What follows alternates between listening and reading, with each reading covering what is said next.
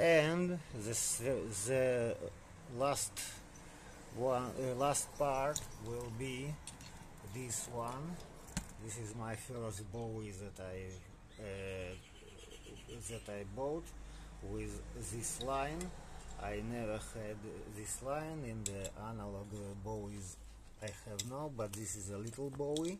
It's uh, 18 centimeter and this one is the longest and the gorgeous it's a dagger hunting dagger. Uh, as guard with bolster here uh, handle from stag. Uh, it has no name because it is it's a hunting dagger. And here is a long one. He is uh, 40 centimeters so I think it must be around 30 inch. But anyway this is my best.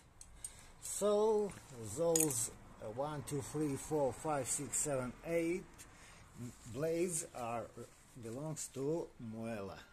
See you guys and thank you for staying here